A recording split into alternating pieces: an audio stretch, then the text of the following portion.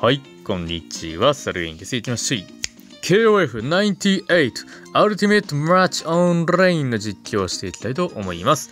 今日はね、もう結果報告だけなんですけど、まあ、ちょっとあのもう招き猫なくなってしまったんですけど、すっげえギリギリ55,777だっけか？消費して回せる最後のやつね。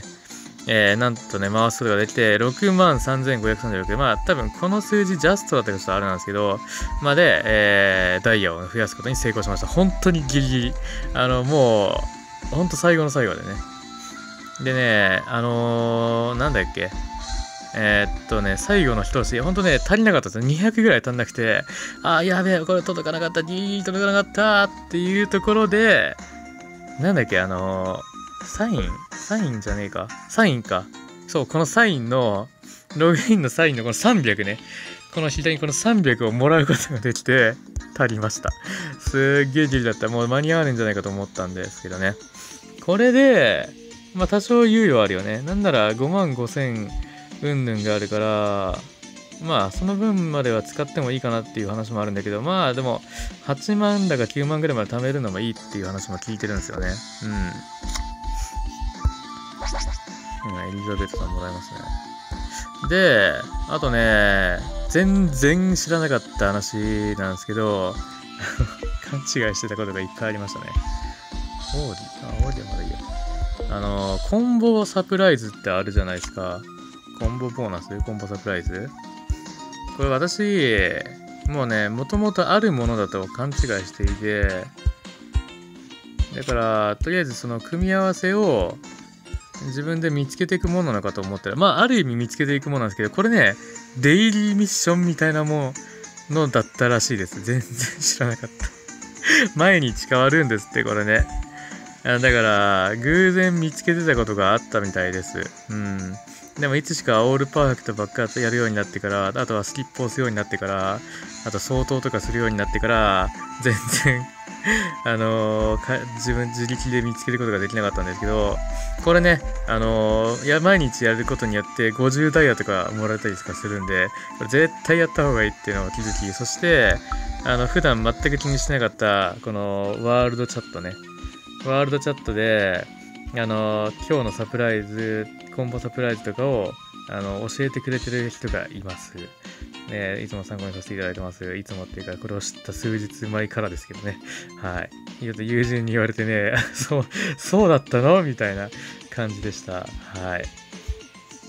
あとは、あのーなんか、あのなんだあれ、提灯みたいのが出てきて、シェイクするとってやつあるじゃないですか。あれも、6分の1かな ?6 個 ?1、2、3、6だか8だよね。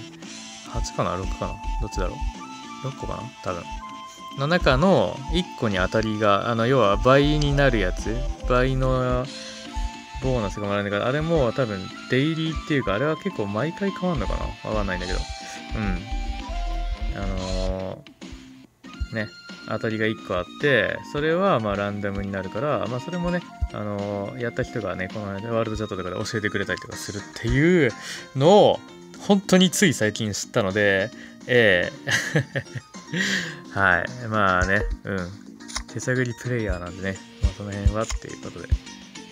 なんででもね、これでかいっすよね。前に、特にコンボサプライズがでかい。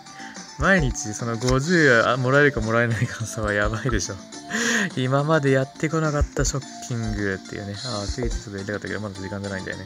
うん。運がいいとね、一気にバーって、一一回ね、ビンゴっていうか一列取ったことあるんですよね、私。うん。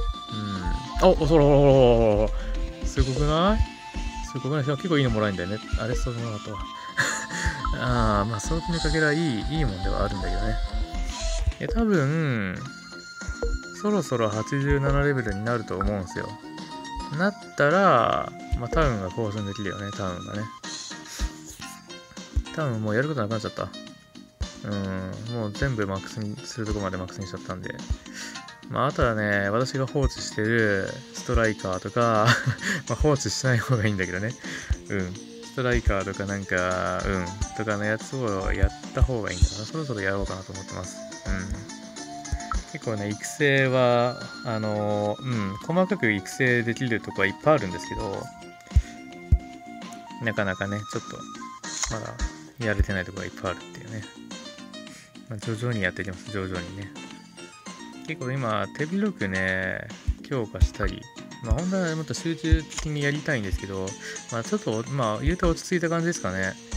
最初本当メインメンバー6人だけでいいやみたいな感じの育成だったんですけど、なんかいろいろと結構あの、いろんなところで使うんですよね。他のメンバーというか。うん。他のキャラも結構使えますし、あとまああの、8問とかね、解放するときに結局ある程度育成しておかないと、まあその都度大変なんで、うん。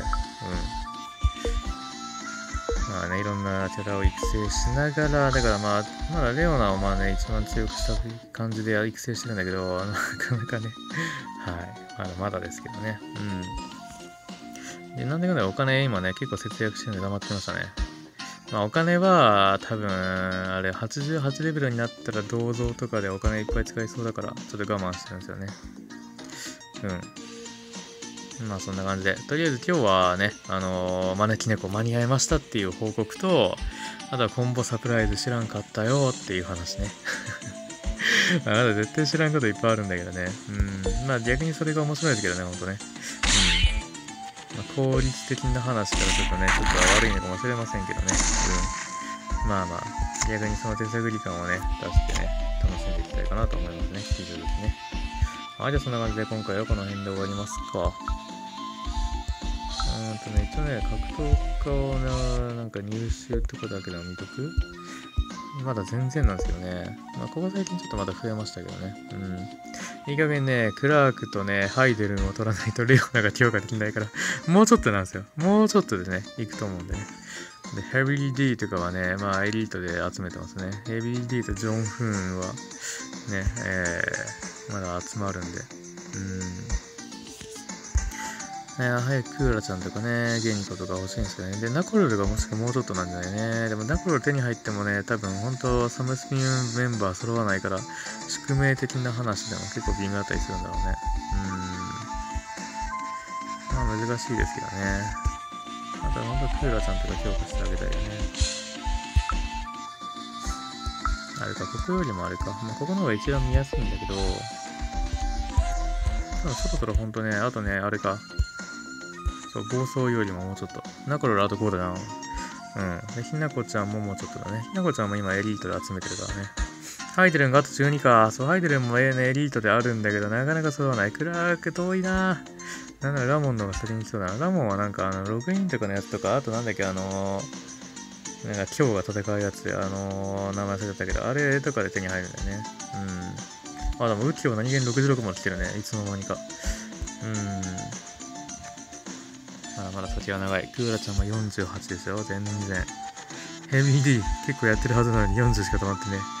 あー、まあまあね。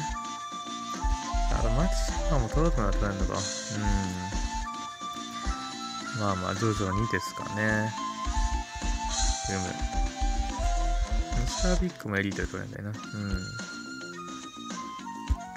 ん。まあまあまあ。はい、じゃあそんな感じでね。もうちょっとね、頑張っていきましょうというわけで。えー、まあね、結構いろいろとね、ハッとすることがいっぱいあるゲームですけどね。手探りでやってるからっていうのもあるんだけど。はい、じゃあそんな感じでお疲れ様でした。バイバイです。